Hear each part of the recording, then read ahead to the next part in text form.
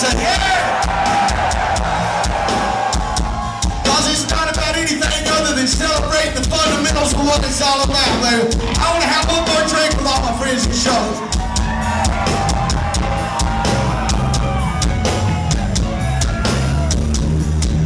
I hope you've tried the round train. I hope you get up on it.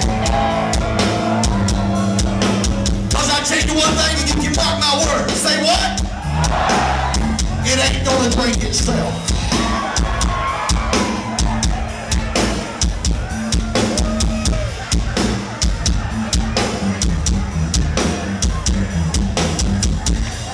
One more time, I'm gonna ask you, are you in a hurry tonight? Then I tell you what, we're gonna play the lumberjack song. And then we're gonna meet you right back there. I wanna personally shake your hand and tell you thanks for coming out tonight. I tell you another little secret. I got I got some friends and family up here. I got my brothers Johnson, you know, just remember Johnson Brothers. If you go in somewhere and they ain't got that Jesse James bourbon, you tell them Johnson Brothers has got it. Jesse's brother Johnson, he's got it. Tell him to bring it and I'm gonna meet you right back there. Come shake my hand. Let's drink it up, have some big time tonight in show.